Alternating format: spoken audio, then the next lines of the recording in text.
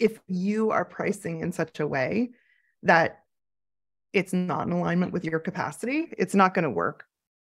I went through a couple of different phases in pricing how I work with clients.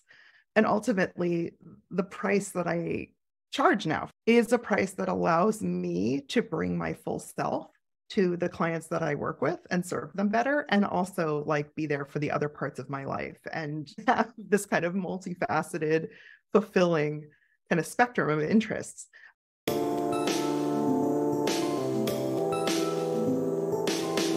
What does it really take to become successful as a writer or artist? There are a lot of destructive myths out there about what a creative career is supposed to look like. We're told we shouldn't care about worldly success or money. We're told that if we're good enough, everything would magically fall into place. That's a lie, and it keeps us struggling, baffled, and hungry for any shred of information that might shed light on how to keep making the work we love. That's why I get any two artists or writers or any creatives really together in a room, and it's a foregone conclusion that the conversation will turn to money and the nitty gritty reality of being a professional creative. I'm cartoonist and creative business coach Jessica Abel. In my own life, those studio visit backchannel conversations with other artists where we share our insights and hacks, anxieties and red flags have been critical to any success I've achieved. And now I'm bringing that conversation to you. This is the Autonomous Creative. This time on the Autonomous Creative, we're talking about neurodiversity and how neurodiversity and other real life constraints impact creative life and business, inspiring creativity and also generating challenges that need to be addressed. My guest today is Emily Zilber, a coach who uses strengths based neurodiversity informed approaches to support artists, creatives, and cultural workers.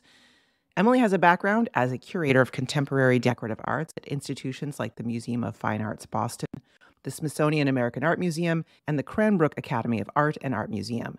She teaches, she consults, and she's on the board of many awesome organizations. And she's pivoting from this high visibility, high pressure curatorial career to starting her own business as a coach.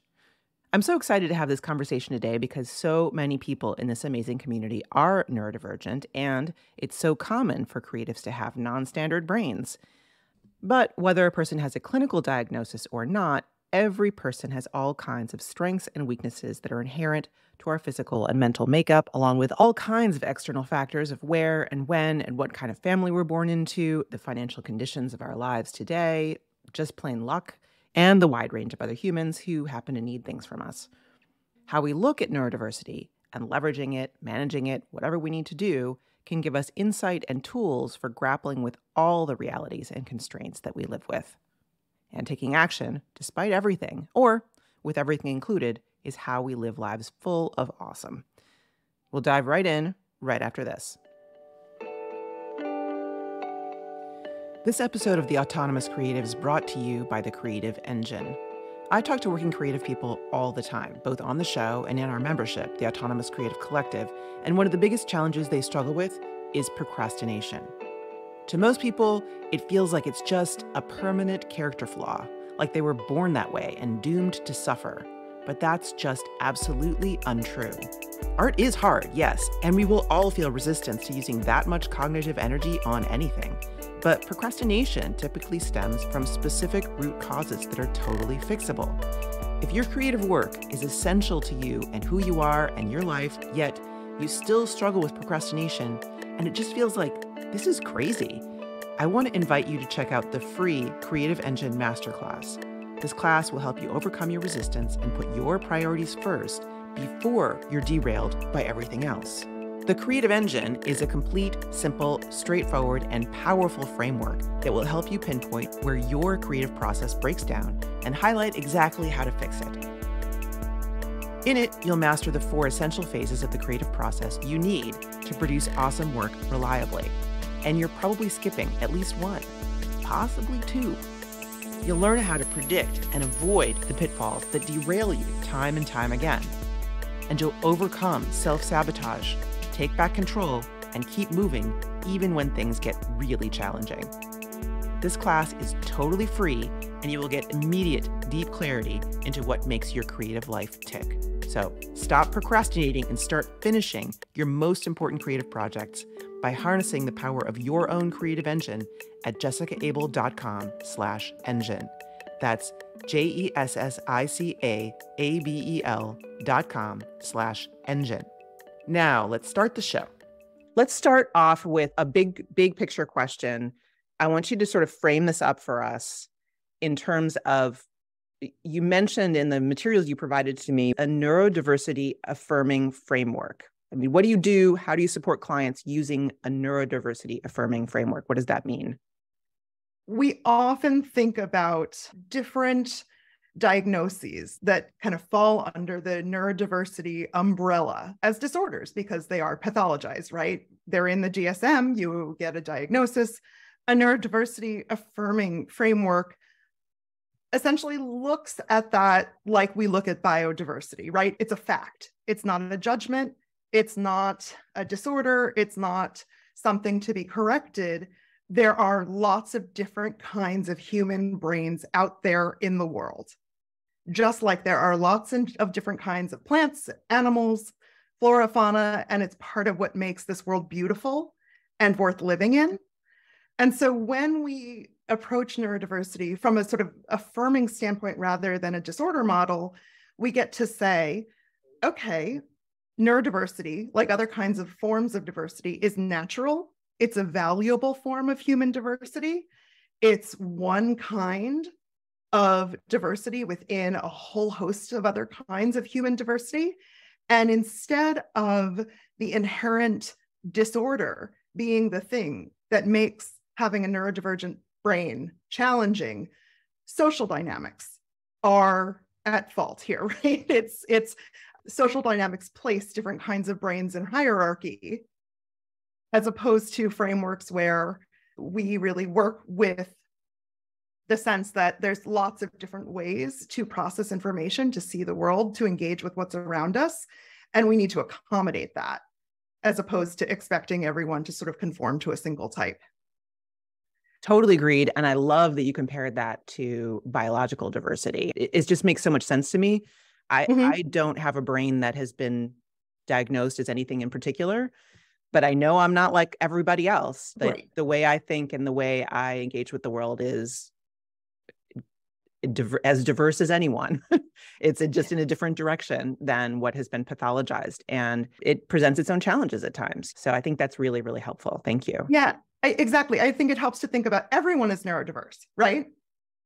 Not when I was first hearing this word, yeah, I heard neurodivergent, and I was like, I don't love using that. And that's what the person I was speaking to was using about yeah. themselves, and and I, so I was using it, but I felt like it's not i mean divergent from what like what standard like defining right. Diver- standard is the question exactly we think about that as like divergent from a societal norm but even somebody whose brain works with that societal norm where like those things make sense for the way that they operate in the world they're also part of a neurodiversity framework yeah. right?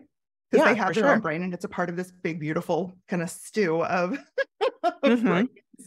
yeah and things about standard functioning trigger me in different directions. They mm-hmm. they have issues that present themselves that might not be an issue for somebody with adhd exactly. Yeah. Exactly yeah yeah so all awesome and a good place to start so can you just tell us a little bit about your journey from curatorial work to coaching yeah and i would say one of the things that that sort of learning about my own divergence has allowed me to do is accept that I have lots of different parts of my identity and they don't I don't just have to pick one lane, right? So I still do work as a curator even as I work as a coach and sort of work one-on-one with artists. I have always been a creative person.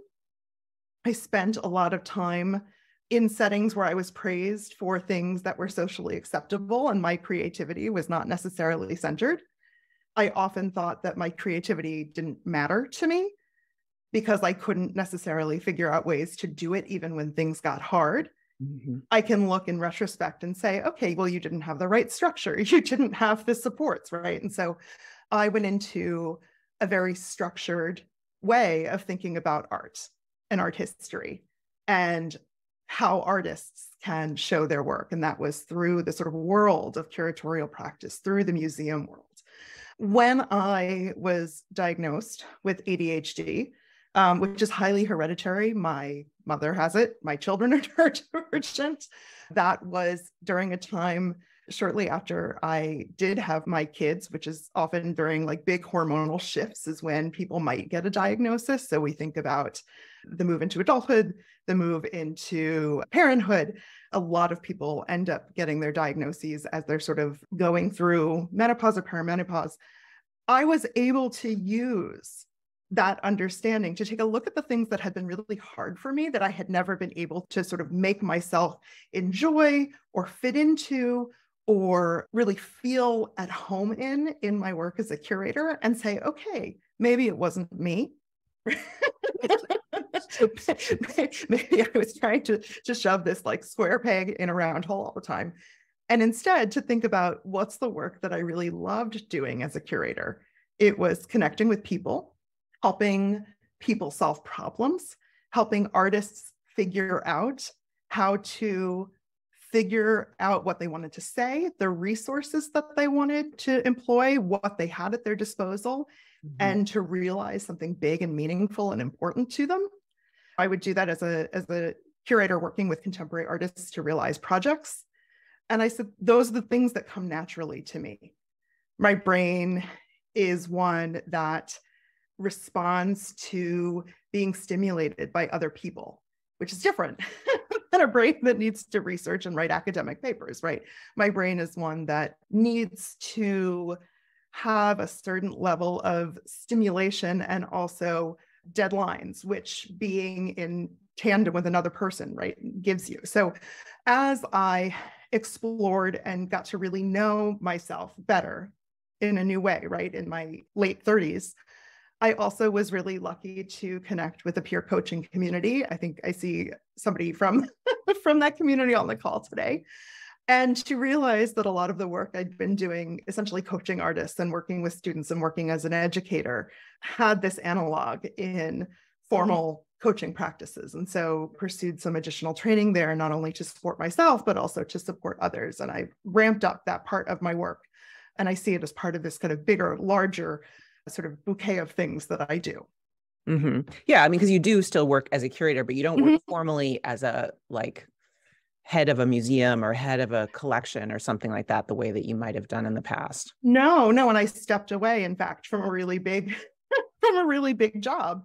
Some of that was because I wanted to prioritize certain things in my life, but a lot of it was also because I had to really think about my capacity mm-hmm. what certain kinds of jobs required of me, what I wanted to give my time to.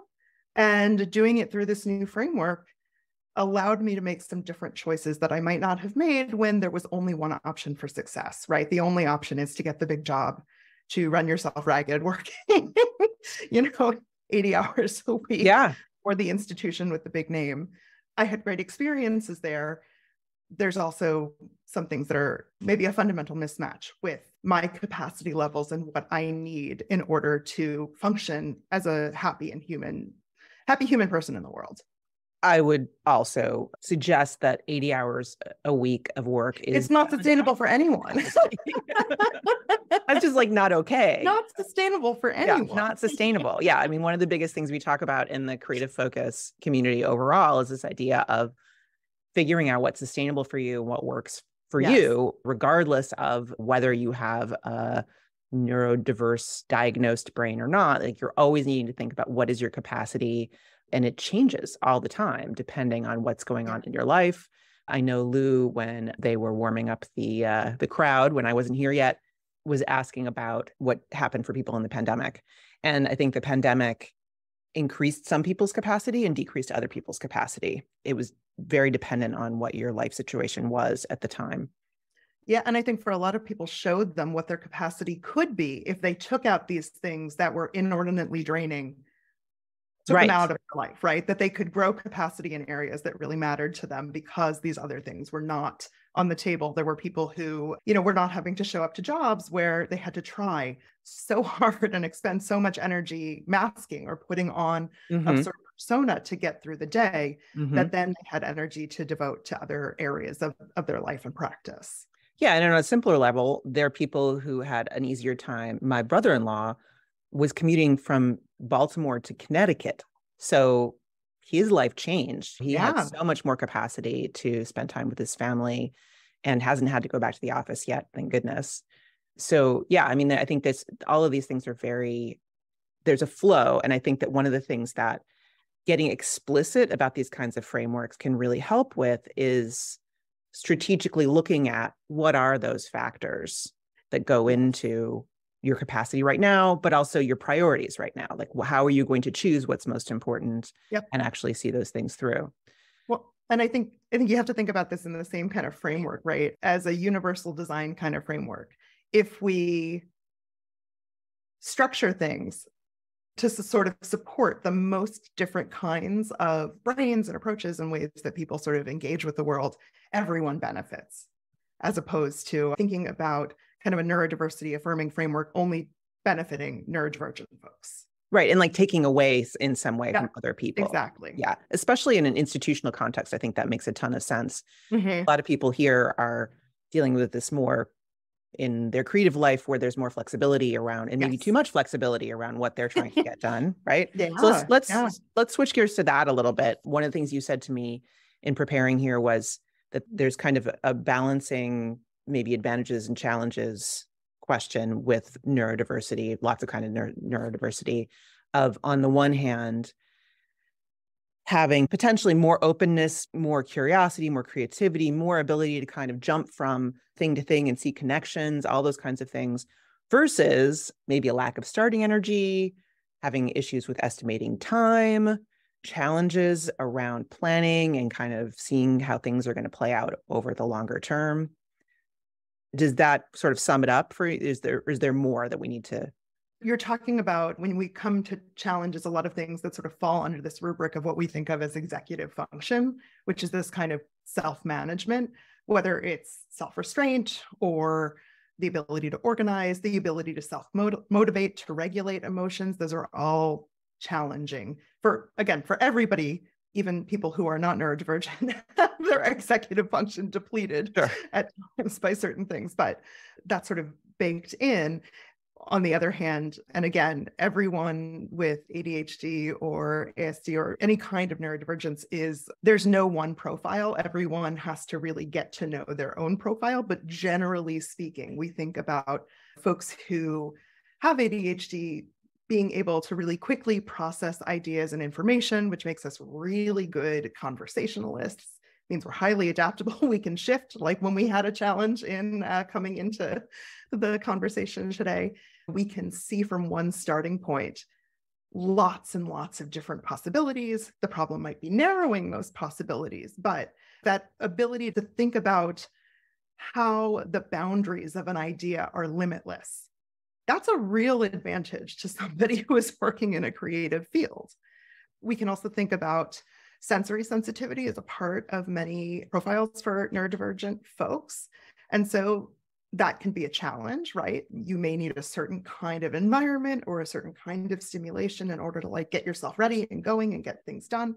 We can also have sensory sensitivities in areas that support our work, right? We're a really strong visual or auditory processor, and that translates into how we bring what we see into what we make and share with the world. It's great to have that ability to hyperfocus, to get into like kind of states of flow. Ultimately, especially with with ADHD, we think of it not as not as a sort of type of brain that doesn't have enough attention, right? Like the deficit is a misnomer. It's more a question of you have the surfeit of attention, but you struggle to regulate it. Mhm. And so that's really great. when the attention is going to all of these wonderful, fun things that that kind of help you be who you are as an artist in the world. And that's really hard when you get excited about getting started. You have a, issues with regulating the energy through the long stretch of a project. And we may not finish things and we may have a hard time committing to things. It's very much a set of challenges and a set of really positive attributes too, potentially. Yeah. And I mean, I've been teaching in art school for 25 years, and I have to say that I would guess the majority of my students are possibly undiagnosed, but uh, neurodiverse in various ways. I feel like there's just a huge overlap between people who are, who commit themselves to a creative life and who are somewhere on some spectrum. And I think that's, I've always loved and appreciated those parts of the wild creativity and the kind of making being able to make connections between things on the fly and all those kinds of things. I mean, there's huge advantages, but of course also disadvantages. And you offered up this question you get all the time. Why can't I get my actions to match up with my intentions? Why mm-hmm. can't I do the things I know I want to do? Now, I get that all the time. I mean, that's literally what we do in the creative focus workshop. So, yeah. how do you look at that question? it's a hard one right because i think also we're we're taught often as artists that the myth of wanting to do something the myth of like having the passion to do something should be enough without right. don't get me started right? We we feel the same way about that. Without without taking a step back and saying what tools do i need to actually move from intention to action? What's keeping me from doing this? And is it things are they things that i can like pay attention to and and get resourced behind? If i'm overwhelmed by this how do i take a step back and figure out what the smallest possible action is. How do i set myself up for success in terms of the environment that i need to be working in? You know instead we get this i can't do it in this framework that everybody else is able to do it in. Mm-hmm. And so of course i must not be committed. I must not be engaged. It must not be important to me. When usually that person the person who's asking you that question has not not had the opportunity to like honor who they are and what their unique brain needs yes to move forward yeah and I mean, speaking as somebody who doesn't have anything diagnosed in particular, like it's hard for me too. You know, it's not, yeah. Th- yeah. this is just hard. One of the things I say all the time is that it's just really, really normal to have difficulties with trying to follow through on anything that's not assigned, anything that you said you appreciate deadlines, anything that doesn't have an external deadline. It doesn't have, it's not on somebody else's agenda. It's your thing that you want to do. They are the things that matter most to us. But those are the things that are the most difficult to move forward because you have to just maintain not only the process, but the self belief that it's worth doing in the face of seeing yourself not doing the thing in any given moment. And one of the things I use for this is I use this framework called the creative engine, which mm-hmm. goes through four phases, which is the collect phase, then the decide phase, then the act phase, and then the reflect phase. And it sounds very straightforward, right? It's like this is how creative projects happen. Collect is when you do research or you come up with your ideas, you outline, you do that kind of thing. Decide is where you pin down what direction you're going and you say, this is the project I'm going to work on. This is the element of the project. This is the way I'm going to go through it. Yeah. And then you get into the act phase and you're doing the thing and executing on it. And then you need to reflect on how did that go? and that usually puts you back into collect because then you need to like get more resources say or answer some question that you didn't have the answer to and that can happen on like a work session basis you go through all of those it can also mm-hmm. happen at the scale of the entire project the number one thing i see people failing at is decide collecting is fine everybody loves collecting and it's fun that's the fun part really fun deciding is fun too though i say i i would assert that deciding is fun but you have to it's scary because it's that's when you're committing to something. Yes. And it's the biggest spot that people get stuck at. And I feel like that's something where people with ADHD in particular have an issue with that because they want to they can see all these possibilities and they want to maintain all the possibilities and not like feeling the pain of losing the opportunity cost of all these other things. Yep you have yeah. to make that sort of intensious conscious decision to to sort of narrow which is incredibly hard when everything is so interesting right when you want to pay attention to all of these different things mm-hmm. um, it's also really challenging for folks who struggle with executive function to see five steps into the future right to know that if i make this decision i'm going to have to plan out all of these things in the messy middle Mm-hmm. And I'm going to have to make decisions again and again and again and again to get myself from the next step to the next step to the next step. That's a challenging thing, again, for anyone to sort of comprehend and to know that that's the path you're going on. There are some folks who, whose brains just really like don't support that. And so it's a combination of how your brain works, but also I think for a lot of the clients that I've worked with who are who are neurodivergent, the self-talk and the challenge of managing the emotions that come with I don't want to do this. This is hard for me. I can't go mm-hmm. to the mm-hmm. next step. I'm too distracted by all these other things. There's too many things that are interesting to me. I procrastinate. I can't get this done. Mm. It's that kind of heady mix of both the way that we frame the things that are hard for us and also things genuinely being hard for us. So, yeah, agreed. Yeah. I want to say sort of two things about that. One is yeah. in terms of the planning, I think one of the things that can stop people is what you're talking about, where they think, I need to know five steps ahead. And I need to make all these decisions. And you don't. and you don't. I always try to get people to just like narrow their scope. I mean, you need to know the direction you're heading, and that's part of the decide thing. You need to have like, this is where I want to go. And you need to recalibrate with that regularly, or you can really get off track but having that sense of like all right all i need to do is this next step which includes these actions. And when i get to the end of that i'm somewhere somewhere else and i'll figure it out then. And i don't need to know everything. I don't need to know where we're going with this exactly as long as i know we're heading in the right direction. So breaking things down that way i think has been really really helpful for me and for lots of people. The other thing is as sarah says in the chat the amount of times i've had the conversation with myself if i'm lazy or not that's the self-talk part right it's not yes. none of this is about being lazy. There's I I don't know. I think I've probably met lazy people in my life, but I haven't met them in the context of the creative focus workshop. That's for sure. There's sometimes you need a break, and that's legit. You need a nap. You need to not be doing this thing right now. You're burnt out. We burn ourselves out from trying to do too much stuff. Lazy, is it even a thing? Like, what is that? A book and article that I recommend to folks all the time is um, Laziness Does Not Exist by Devon Price, who is a neurodivergent academic, a sort of alternative academic that really goes at this idea, right? That the behavior that we have labeled as laziness is often the result of not being appropriately resourced. It's often the result of not having the right frameworks that we need to help ourselves get through to the next thing and the next thing. Sometimes it's sort of physical resources, sometimes it's emotional and mental resources. But that's the great, a great, there's a book, but then there's also a Medium article that if you don't want to commit yourself to a book is a great way to sort of begin thinking about some of that reframing. Knowing just the next thing to do if you can think about that as like an empowering choice, right?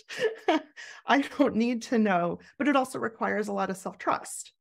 I trust that once I make this choice, I'll be able to figure out what the next one is. And that's hard for people who have labeled themselves as procrastinators or disorganized or lazy. And so it can become for folks this vicious cycle. I'm labeling myself as lazy because I'm having a hard time doing this thing. And then the behavior reflects what I think of as laziness, when in fact, can you reframe it? I'm I'm not a procrastinator, but I'm somebody who needs outside stimulus or a deadline or this kind of framework in order to move from one step to the next. Am I disorganized or am I somebody who can work in kind of flexible ways and see things within the context of complicated environments, right? It takes active work to think about these things that have been pathologized because of this disorder model that we think about neurodivergent, neurodivergent brains through and say, I'm going to trust myself to figure out the next step when I get there. And if I don't know what that is, I'm going to find the resources, whether it is, you know, a body doubling community, whether it's working with a coach, whether it is giving yourself supports as simple as okay i need to externalize things that are in my brain. I'm just going to cover my room with post-its right? So i don't have to keep this inside of me. Have you given yourself the chance to know what you need and to to try to resource yourself fully? It's a hard thing to let yourself do when you don't trust yourself. Absolutely. Absolutely. One of the things i find myself saying all the time in coaching is somebody will come to me and say, I'm doing this thing again. I've been trying to do X and it's this is the way that this has been going off the rails repeatedly. Mm-hmm. And my question is always, okay, so maybe the first time or two it went off the rails, you look at yourself and you say, like, can I handle this and just do it differently? But if something is consistently not working for you, yep. you're not broken. It's broken. Something's wrong with what you're trying to like the way you're tr- going about trying to achieve something or the demands that you feel from your inner critic or the outside world or whatever it mm-hmm. is that are misaligned with your life. And often it's a capacity question where it's like, why can't I write, I don't know, 2000 words a week on my novel? Well, could it maybe be that you're working three jobs and have two children under the age of five? Could that be why? that, there, that would be a good reason. yeah. You know, like there are real reasons that these things can't happen. You know, it was funny. I have a client right now who has been coming to coaching calls regularly in the creative focus workshop. And she's gone through this long process of developing. And this is one of the things I talk about a lot, and I'm sure you do too, is the idea of habit building as a yes solution yep. for this. Because habit building essentially is pre-deciding. It's setting up a situation in which you don't have to decide in the moment what you're going to do. You just do the thing. And so this is a way that I teach a lot about creating building a creative practice. And so she's a writer and she's been building this writing practice. And the last time she came, she said, I have been doing what I said I was going to do. I see results. I see that all this stuff is, you know, I finished this draft of the first part of the book. I was like, that's fantastic. And she said, but my inner critic is telling me I'm not working hard enough. And why am I not mm-hmm. producing more? And I said, could it maybe be that you're not allowing yourself to see what is happening in front of you because it doesn't match up with a model from society and she's like Stephen King, and I'm like, yeah, Stephen King, of like how much you're supposed to be producing per day. And nonetheless, this is the result. And like before, when you're trying to match up to that model, nothing was happening. Now you're following your own pattern and it's working. We are terrible judges of our own accomplishments. And so sometimes making that list of habits or even kind of habit formation, deciding on that habit, deciding on the structure ahead of time is not enough. Mm-hmm. And so when people have a hard time, you know, clients that I work with, they say, I'm going to do this thing. I'm going to do this. I've scheduled it into, and they don't do it. The challenge is that instead of coming to a coaching conversation where we can say, why didn't you do it? What didn't work about it? What else did you need to potentially do it? Is it that the habit is not structured well for you? Mm-hmm. Like, how do we redesign this experiment?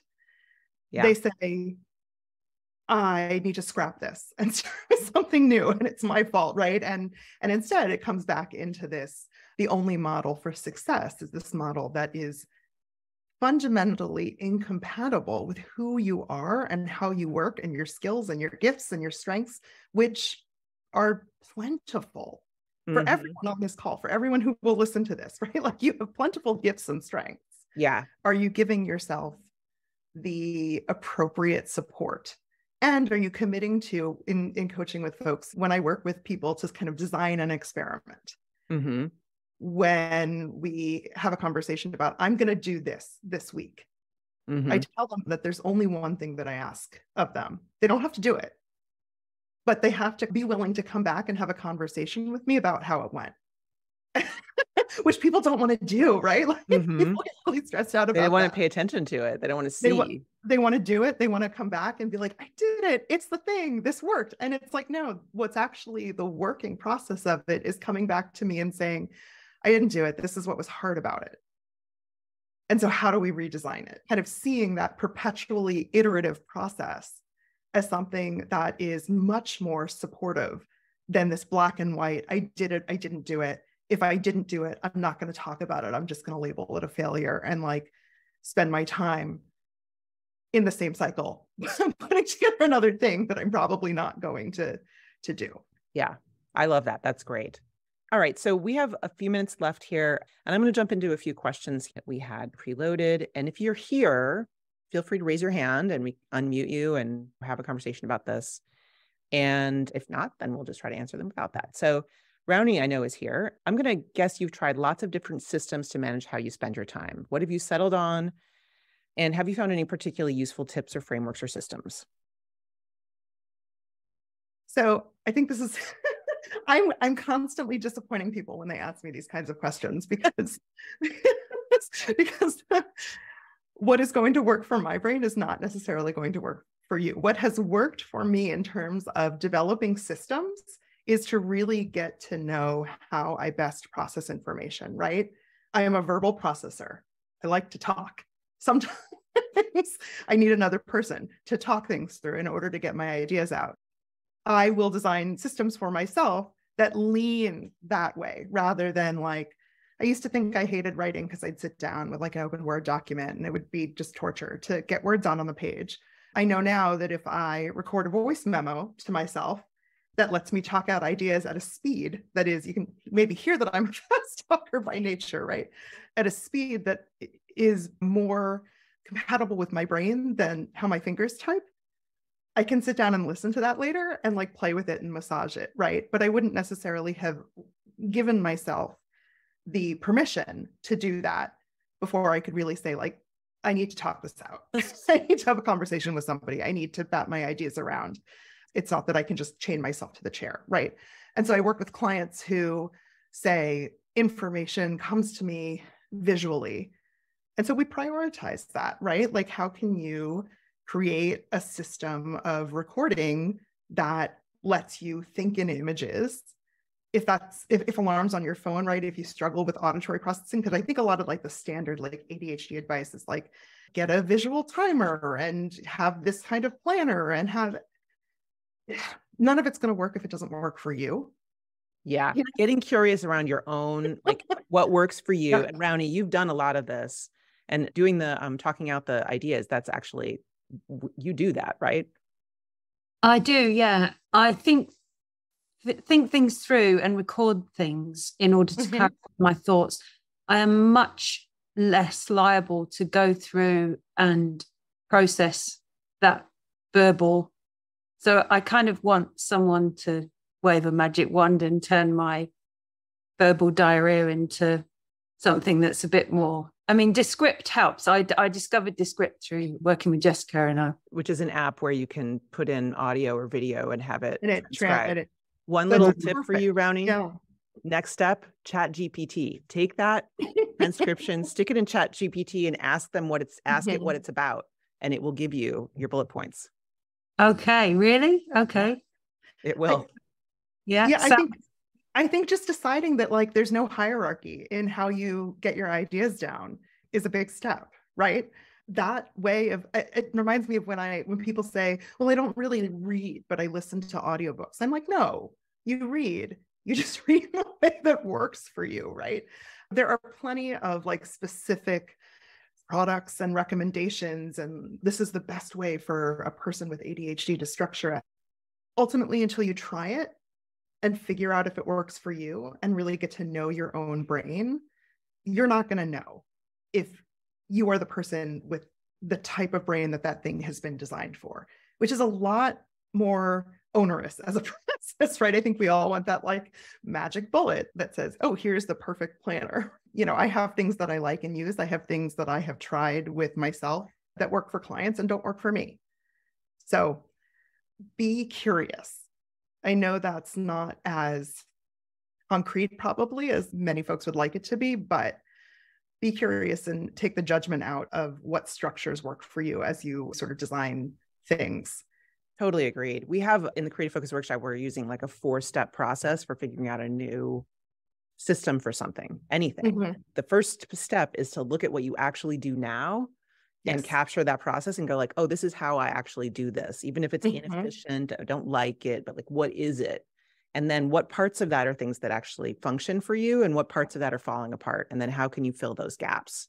You've got a neuro- neurodiversity affirming paradigm in in your program even if you didn't label it that way. Yeah just diversity affirming just everything. yeah, diversity right exactly. Yeah which is this is actually something that Jen W also asked, and I don't know if Jen is here. What tools, approaches, and resources are best suited for creative professionals with autism and chronic pain or illness who are trying mm. to build a solo business that can provide a comfortable income while also being sustainable and adaptable? So part of it is what we just talked about, which is, you know, in terms of processes and so on, yeah. finding ones that function for you. The other piece of this is something we haven't really touched on, which is making sure that your pricing and your business structure, your business model is aligned with your brain and matching that up with what you need to come out the other side in terms of money and the time and so on. I think you're absolutely right there.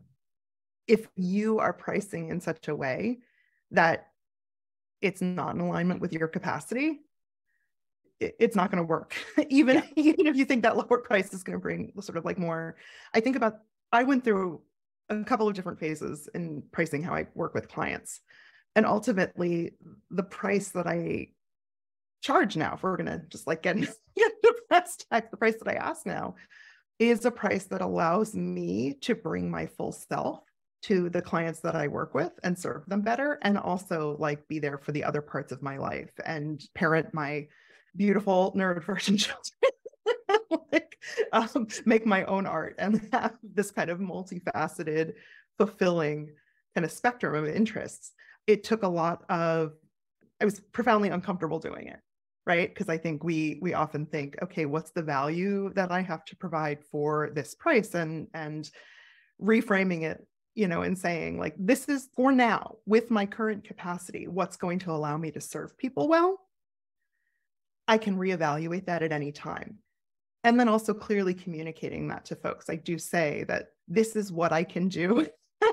I'm moving, I'm trying to move towards a business model that allows me to do different things within you know what my own capacity makes possible and just being as transparent about that as i can that language is there you are not going to do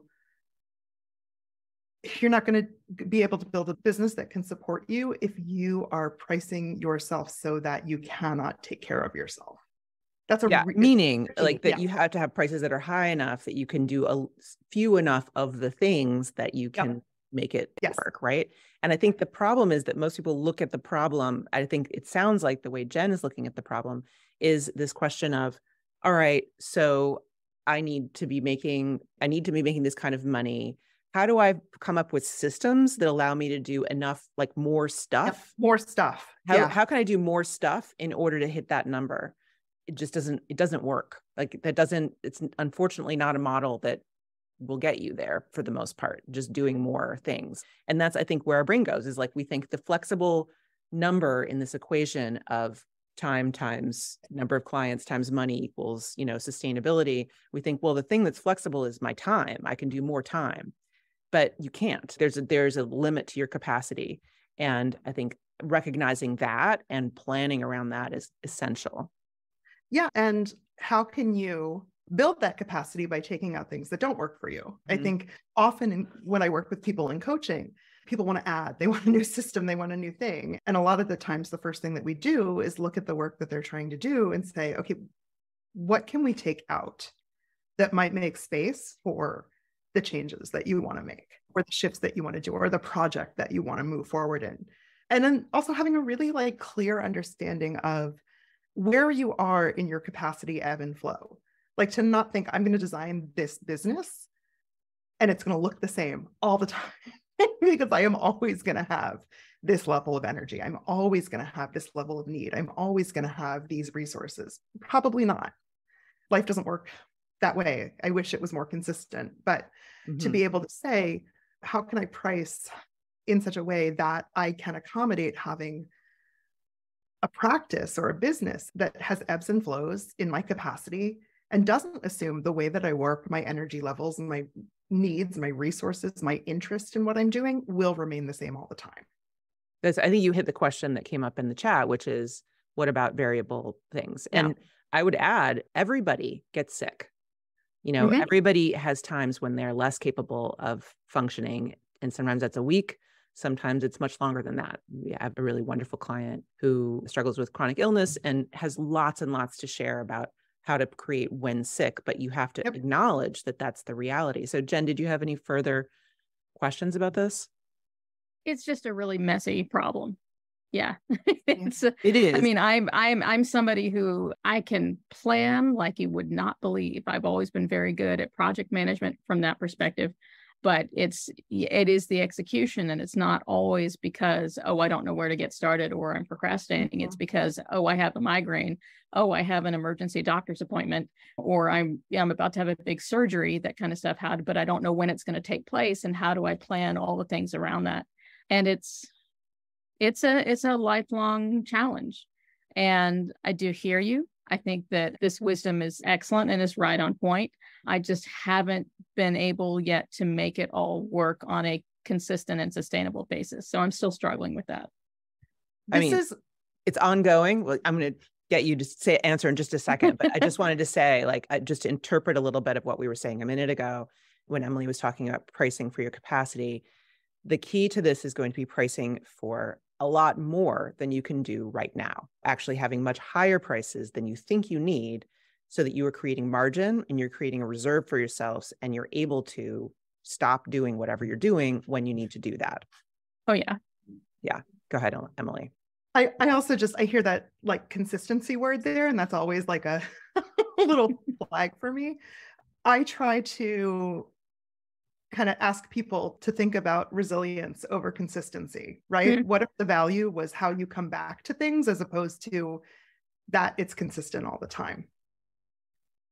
Does reframing in that way help you think not about like, oh, this hasn't been consistent. I'm I have this kind of lack. What if it's I'm coming back to my practice after these things that are challenging, and I now have more information about what I want to do differently to support myself better in moving forward. Yeah, it's interesting that you say that because resilience used to be kind of my my touchstone word, and it kind of mm. got lost somewhere in the past couple of years, and it just came up again a couple of days ago. So I'm going to take this this emphasis from you on that that word again is like oh maybe i should take a look at that because i think that that really is more where my strength may lie. I think it's often like we think uh, there's this like resilience buck up and that's not the way i'm thinking about it here right? Like oh yes yes the way you're thinking about it. It's just like coming back to can you come back to your business? Can you come back to your practice? Can you come back to things after some time away? That's where kind of that power can be in in bringing this into your life right. in a, in a yes. way that's deep and meaningful and i'm a natural and fundamental optimist so that's always going to be that's always going to be at the core so thank you so i didn't mean to turn this into my personal therapy no, session yeah. but thank you so much well i mean as usual i think the questions that you're answering i mean clearly in the chat the question you're asking is a question a lot of people have i want to just say to everybody when you have questions for emily for me when you ask a question in a forum like this, you're doing a service to everybody else because either people haven't realized they have that question, they have it, or they're shy and they don't want to ask it. So, whenever you are willing to put yourself out there and ask the question, you're really helping lots of people. And so, I think that's mm-hmm. really, I just want to emphasize that. I have one last one I want to uh, stick in here really quickly that I just, we sort of touched on it, but I want to be more clear.